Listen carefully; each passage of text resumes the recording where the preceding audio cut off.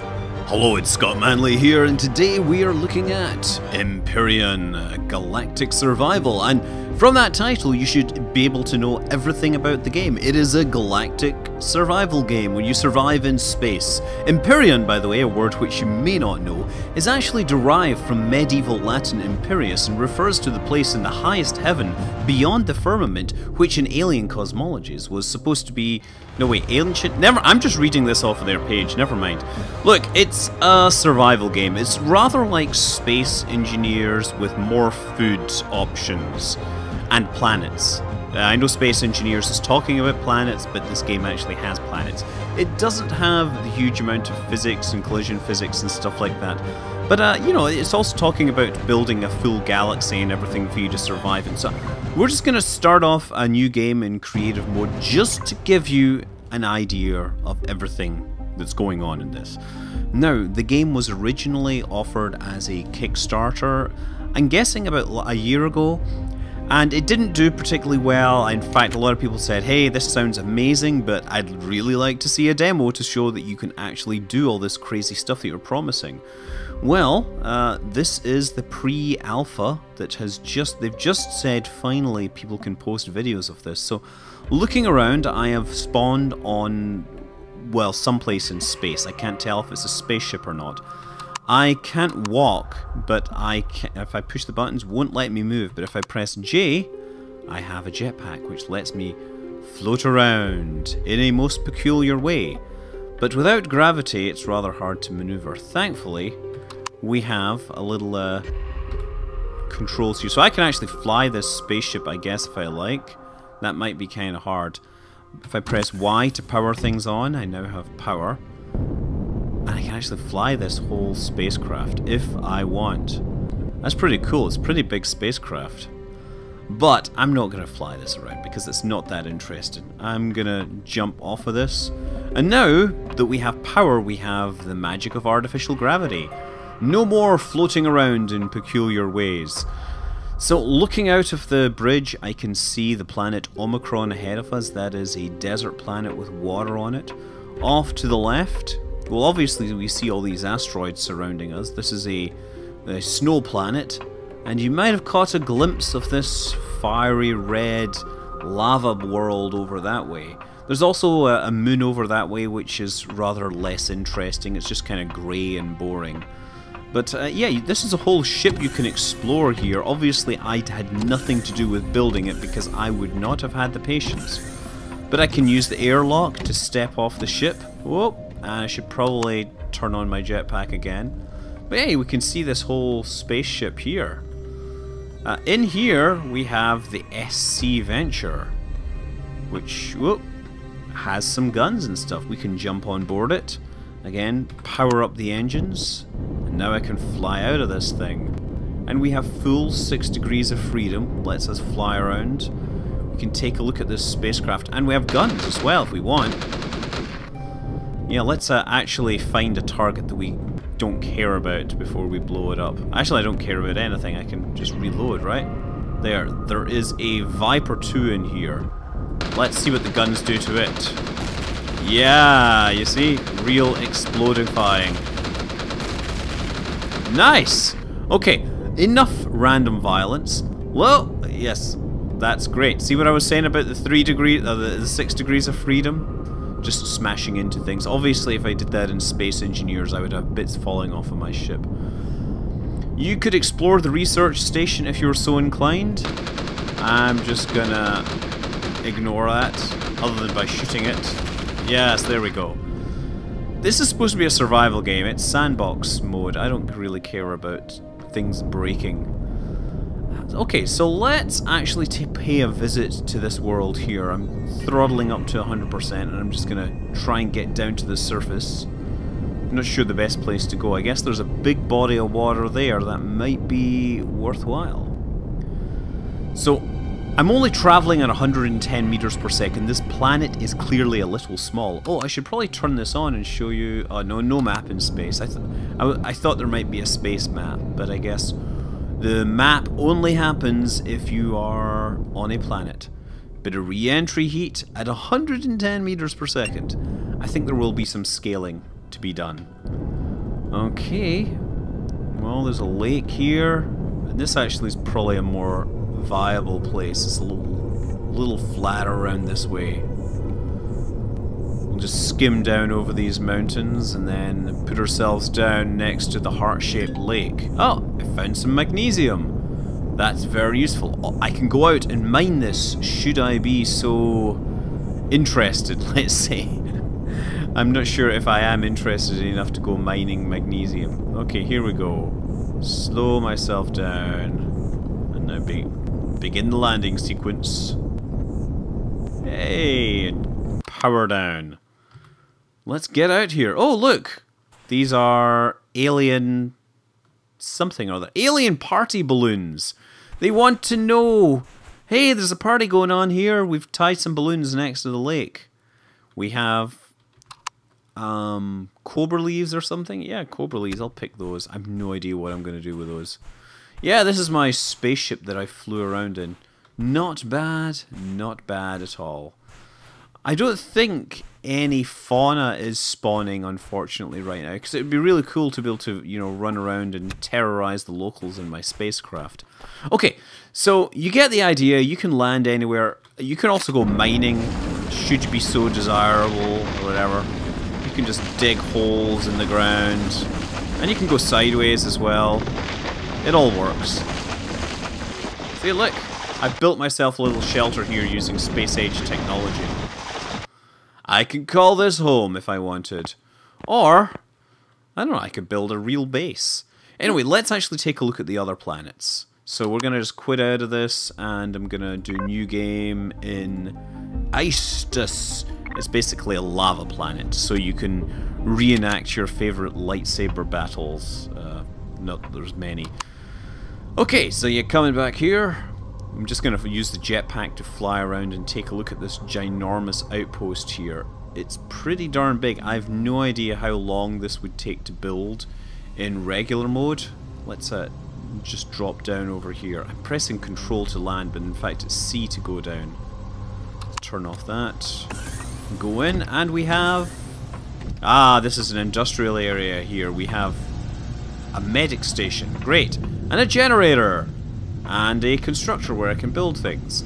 And you know what? We have a big power switch. We should just be able to turn everything off. And it becomes eerily silent.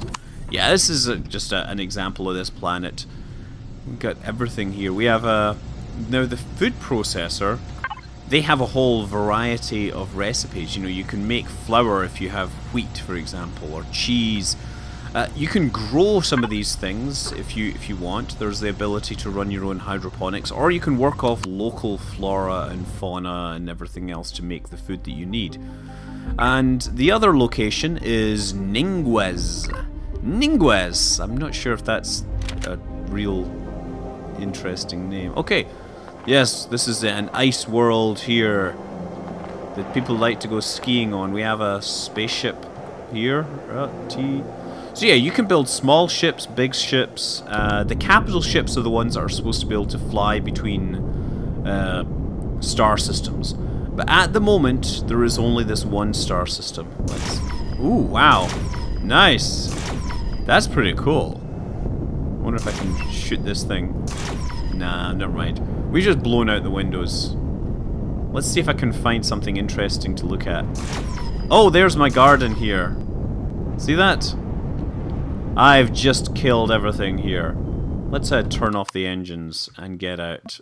Oh, look, it falls down like real physics. Let's get in here. Yes, this is my uh, greenhouse where we are growing our plants here. Now what am I going to press? I'm going to turn on power. And we're growing them under purple light because we're going to make these things paranoid. Since apparently paranoid plants are more likely to produce better um, hallucinogenic substances, let's say. No, I've no idea what's going on there, but that this is uh, obviously how you would set up a farm and grow things like tomatoes and corn, pumpkins. Isn't that great? And wheat, so you can actually make bread. And with bread and tomatoes, you can make pizza, and then all you need is something to get milk from. And that way you can make cheese. Okay, let's actually show you straight up survival mode, uh, how this works. So I'm going to do a new game, survival, you have only one starting location. The story is that you're part of some epic fleet that is trying to save humanity. You are going on some mission. What? Oh wow, where's that? Oh! Wow, that scared the crap out of me. But, I have to say, it looks pretty armless. Okay, we've discovered a promethium deposit as well. Promethium is used to make fuel in this case. This is a spacecraft that crashed. It has a constructor, which lets you build things. And we've come down with some supplies. And we've come down with some farming equipment. First thing to do is to take all this and put it in the constructor to make sure that we can construct things. Is there a way to do it all at once? No, I guess I have to do them one at a time. Promethium pellets, ingots, cobalt, iron, copper, and silicon. Okay, great.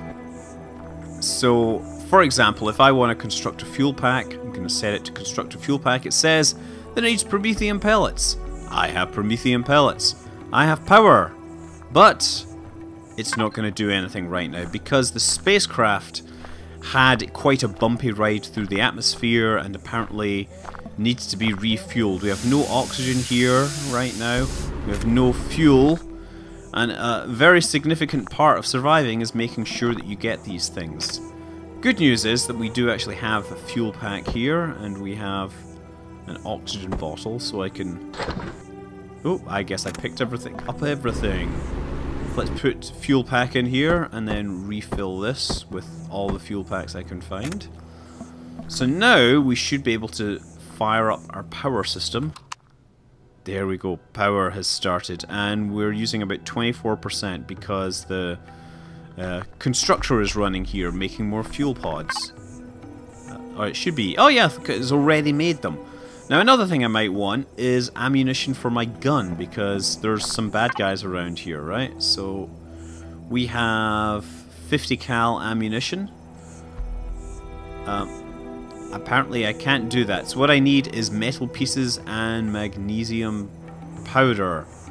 So where's metal pieces? Metal pieces are here. So a couple of those. Let's do like that. That should be enough. And I've got magnesium powder here, right? So now I can also say, now I've got that, I can tell it, yes, I really need these 50 cal bullets.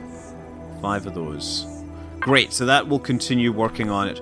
Meanwhile, I should figure out what I'm going to do here. Now I can harvest the local terrain, uh, I can I can dig, I mean I can go out and look for these things probably the best thing for me to do would be to actually retrofit that escape pod to be an actual flyable spaceship. Oh! Now that in the distance looks rather unnatural. I suspect that it is not a natural thing. Okay. Well, anyway. Oh, the next thing I needed to do... Right, I forgot about this. My oxygen supply is depleting, so I need to go in here and put a couple of oxygen bottles in. There we go. So that's going to fire up now and I should be able to re replenish my oxygen. Yes! I am now replenished. I feel sustained. I can also take a look above and admire the planets and stars and stuff moving through the sky. So the planet, if you look, is actually quite small. It's 2600 meters across. And apparently, I don't know, maybe they fixed this, but apparently you can't go near the poles because they'll break, but I'm wondering if they fixed that now because I don't see typical distortions. There is a bit of distortions, but it doesn't look you know, terribly bad anymore. You can only get there while there's icons at the side for planet versus system versus galactic map. We don't have anything else. And the atmosphere seems pretty dense as well. Okay,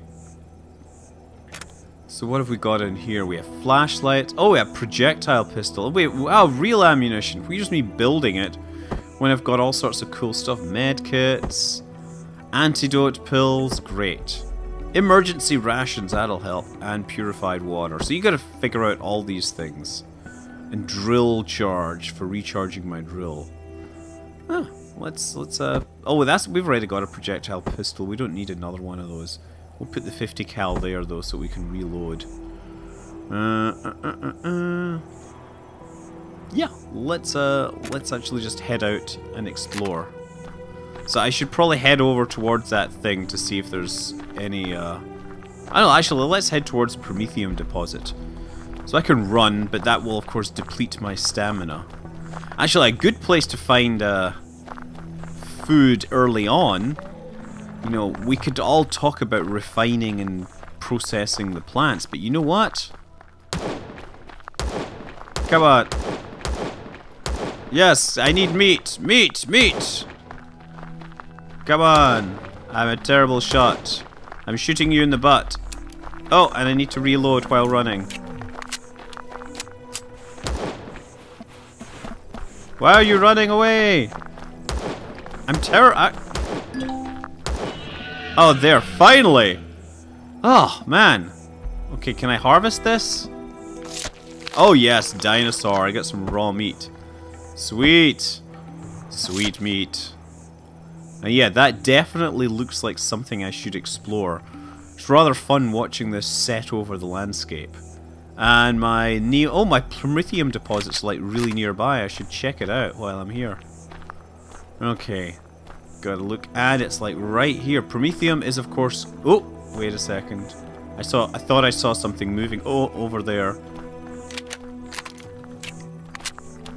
I thought- oh, yeah. Oh, that thing looks scary. Oh! Oh, man, that thing is scary. Can I harvest that? Oh yes, I get alien parts. And alien teeth. And raw meat. More raw meat. Excellent.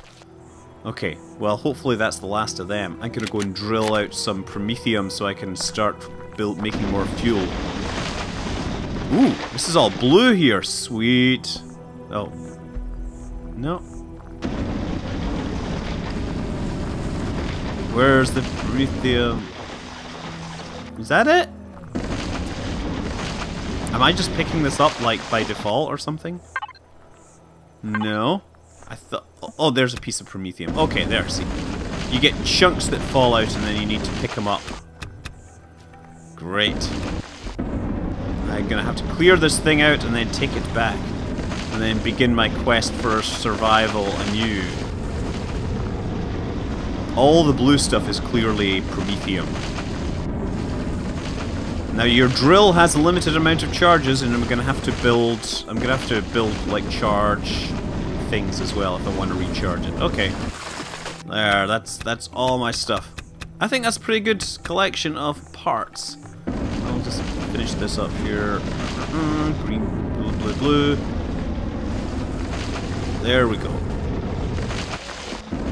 I hate the blue, or I love the blue, whatever. I want all the blue. On, come on, come on. Okay. Okay, now I have to climb out of this giant hole. And hopefully my jetpack works. And that thing is still doesn't have any friends. Good, okay, so now, now I can start running home again. The running uses stamina.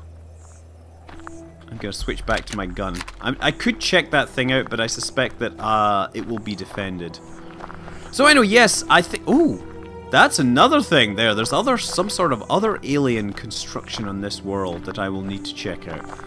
So yes, the game is Empyrion Galactic Survival. I'm not sure access is available at this time. This is the first pre-alpha version that they've said is okay for people to show videos of. You had to be a backer before a certain date, but it's something worth watching. To be fair though, it does have its work cut out for it. Uh, I mean, it's competing against Space Engineers, which is pretty big, and then there's also Star StarMade. Although this game does concentrate a lot more on the survival.